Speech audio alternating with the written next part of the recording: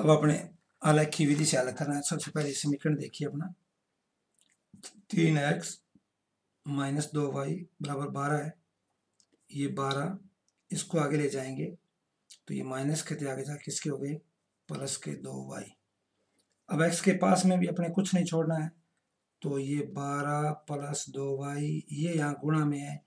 यहाँ किसमें चला जाएगा? भाग में। ठीक है?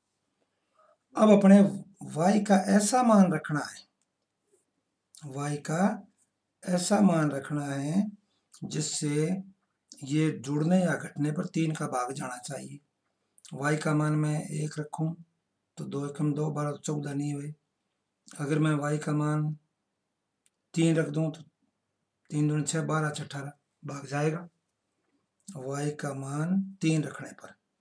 तो समीकरण तो अपनी ये बनेगी।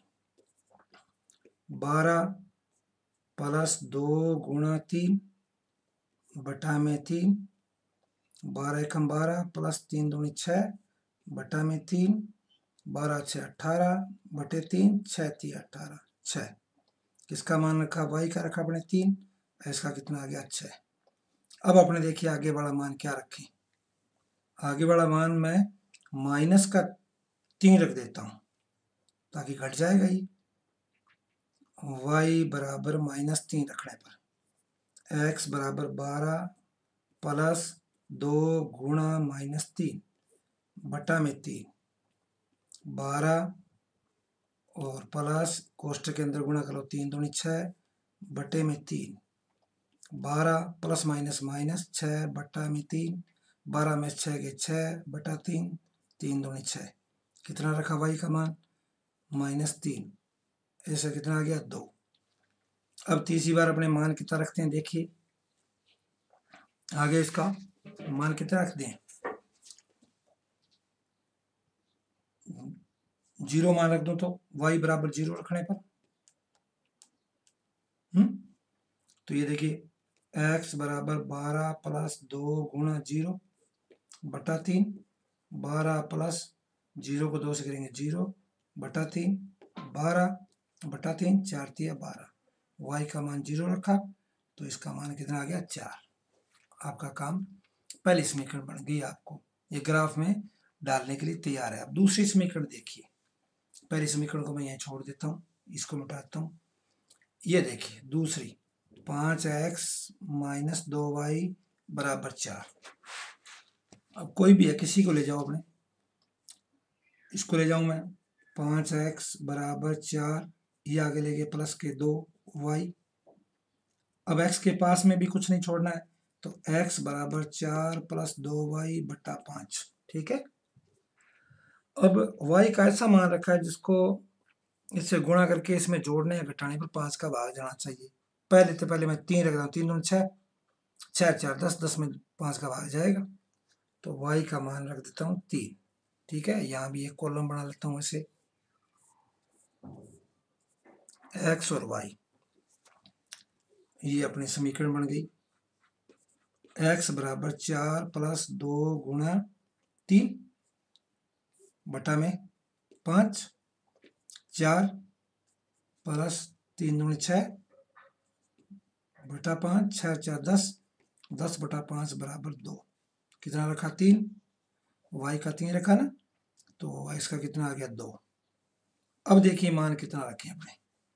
दूसरी बार में मान।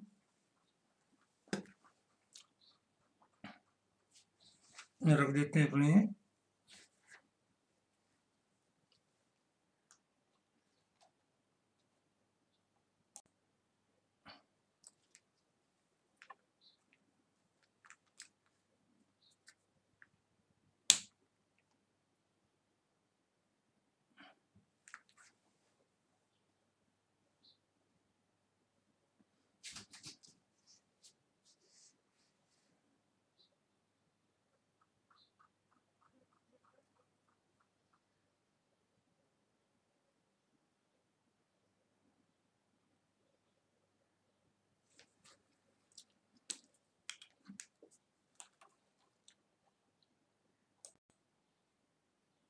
अब अपने मान रखते हैं, देखते हैं, माइनस सात रख देते हैं। वाई बराबर माइनस सात। सात उन चौदह, माइनस के हो गए चार, प्लस के घट जाएँगे।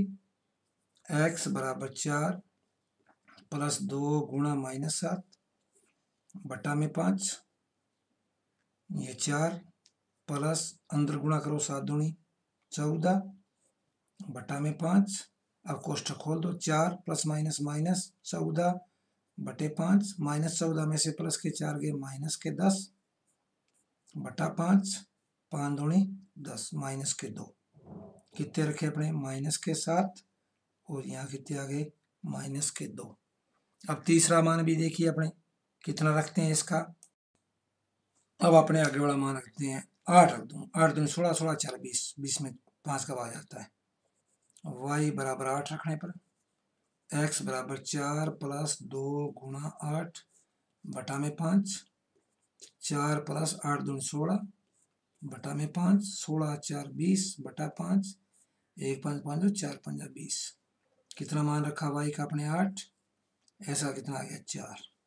ये अपने समीकरण हल होगी इस प्रकार से अपने समीकरण को बना सकते हैं और बाद में इसको ग्राफ में खींच सकते हैं। ग्राफ में खींचना, मैं सबको एक जगह बता दूँगा। ताकि आपको अच्छी तरह समझ में आ सभी सवालों का एक ही सवाल मैं बताऊँगा। धन्यवाद।